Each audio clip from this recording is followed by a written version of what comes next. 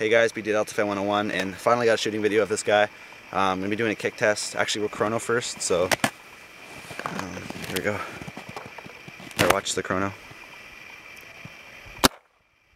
291, 291, oops, 286, 300. So uh, chronoing round 290, I guess. And uh, here's the kick test.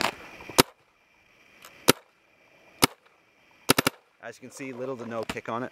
Um, now you can come behind and watch me shoot. So uh, here we go.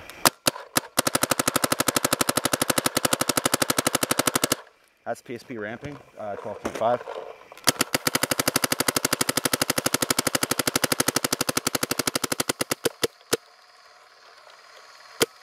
So uh, all in all, the axe shoots pretty good. Um, finally got it working to the way it should be. Um, really like it. I was using the Furia 685 uh, stock bore size, and uh, Z2 Prophecy. And that's it, guys. Thanks for watching.